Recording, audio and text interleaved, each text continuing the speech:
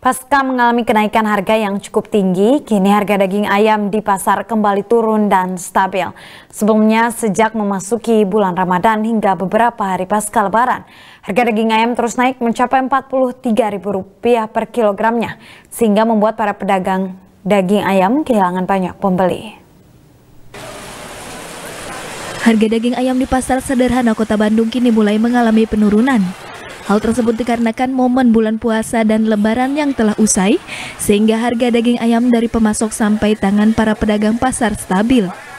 Sebelumnya harga daging ayam mulai merangkak naik sejak memasuki bulan puasa hingga hari raya Idul Fitri.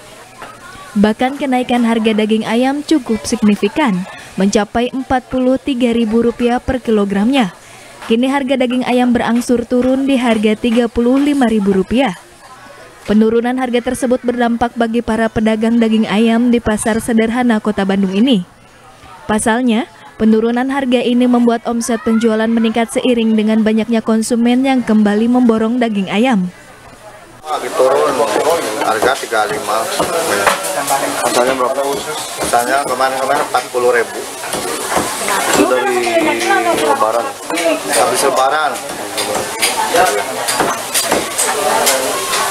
lebaran kalau mau lebaran makan harga tiga ribu habis lebaran makan ongkos motong dua ribu satu ekornya Turunnya harga daging ayam di pasar sederhana secara perlahan mulai terjadi sejak H plus 1 lebaran. Yuwana Kurniawan, Bandung TV.